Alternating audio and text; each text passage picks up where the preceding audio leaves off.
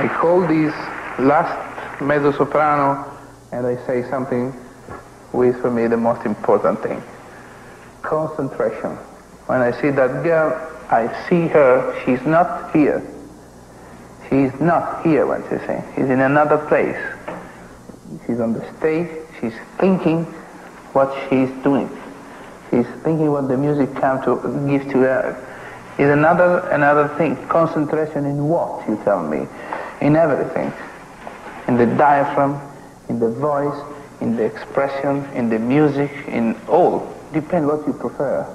Take first what you prefer. Diaphragm cannot stay with you cannot stay without diaphragm anyway.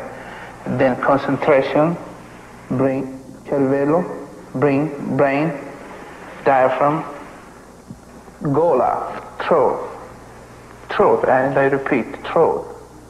Doesn't mean that the, the sound is formed here in the throat, not here, here. And, yeah, well, and through here, through here it go higher to other resonance. But the voice is ah, ah, down, down. This we call in Italian epiglottide. I don't know how you call. Adam, apple, something like that. Even the lady has this apple. Must go down, profound, deep.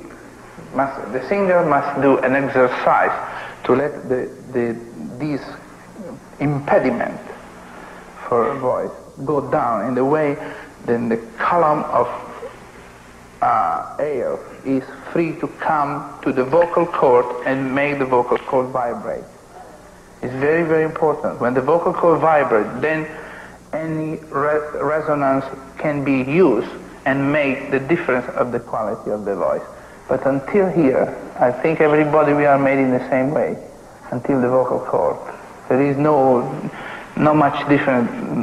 The other things are a little different.